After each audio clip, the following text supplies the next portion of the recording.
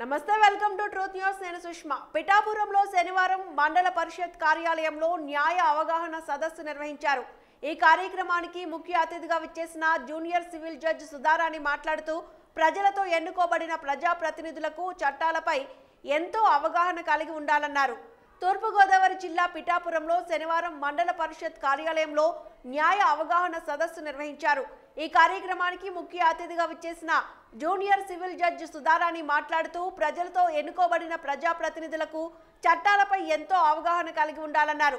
నేటి రాజకీయ వ్యవస్థతో చట్టాలపై అవగాహన తెలుసుకుని గ్రామాల్లో ప్రజలకు వివరించాలి అని సూచించారు.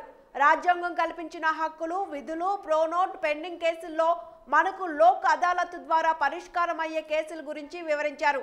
ఈ కార్యక్రమంలో ఏజీపీఎస్ఎం అలీ బార్ అధ్యక్షులు మెరుగు రాజారావు ఎంపీపీ కన్నాబత్తుల కామేశ్వరరావు జిల్లా APP Anishetti Kashi Vishwanath Reddy MPDO DLS Sharma న్యాయవాదులు గౌరీమణి రమేష్ బాబు ముమ్మిడి శ్రీను సర్పంచులు ఎంపీటీసీలు తదితర ప్రజాప్రతినిధులు పాల్గొన్నారు.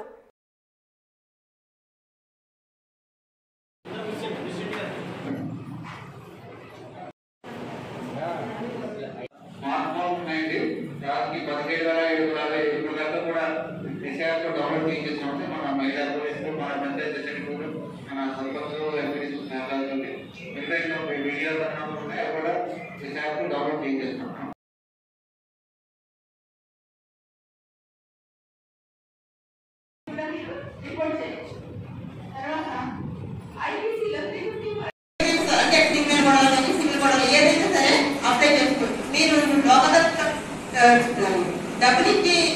అంటే న్యాయవాది పెట్టుకోలేని వాళ్ళు ఉంటారు. వాళ్ళు నట్టం దేవస్థానం సరే కమిటీ దగ్గరకు వచ్చి మాకు న్యాయ బాధించుకోవడానికి స్థామత లేదు మాకు లాయర్ కావాలంటే అని వాళ్ళ దగ్గర ఇస్తే వాళ్ళు ఎవరో రాయించుకోమని కానీ లేదా మీరే రాయించమని కానీ అప్లికేషన్ ఇస్తారు. రాయించుకో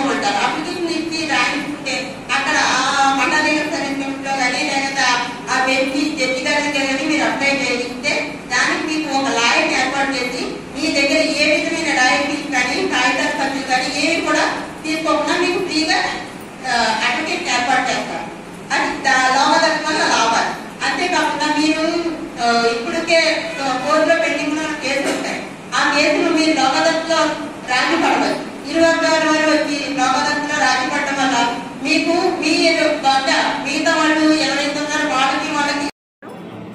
ఆజాదీకి అమృత మహోత్సవం పేరిట ఈరోజు ఇక్కడ న్యాయ విజ్ఞాన సదస్సు జరగడం జరిగింది. ఇందులో లోకదళ ప్రాముఖ్యత గురించి అందరికీ మొబైలైజ్ చేయడం జరిగింది. ఆ ఇంపార్టెన్స్ గురించి డిసెంబర్ పదకొండున పీఠాపురంలో జరిగే లోక్ అందరూ వినియోగించుకోవాలని కోరుకుంటున్నాను. ఆంధ్రప్రదేశ్ సుప్రీంకోర్టు వారి గైడ్లైన్స్ ప్రకారం ఆజాదీ అమృత మహోత్సవం అని చెప్పేసి అక్టోబర్ రెండు నుంచి నవంబర్ పద్నాలుగు వరకు కొన్ని కార్యక్రమాలు చట్టాలను ప్రజలకు చేరువ చేయడంలో అందులో భాగంగా ఇవాళ ఈ సదస్సు జరిగింది ఇక్కడ. ఇందులో చెప్పేది ఏంటంటే డిసెంబర్ పదకొండున మన పిఠాపురంలో నేషనల్ లోక్ అదాలత్ జరుగుతుంది. అందులో అన్ని రకాలైన సివిల్ కేసులు కొన్ని క్రిమినల్ కేసులు మనోవర్తి కేసులు సామరస్యపూర్వకంగా ఇరు వర్గాల ఇరు వర్గాల అంగీకారంతో పరిష్కరించుకోవచ్చు. ఈ అవకాశాన్ని అందరూ కూడా వినియోగించుకోవాలి.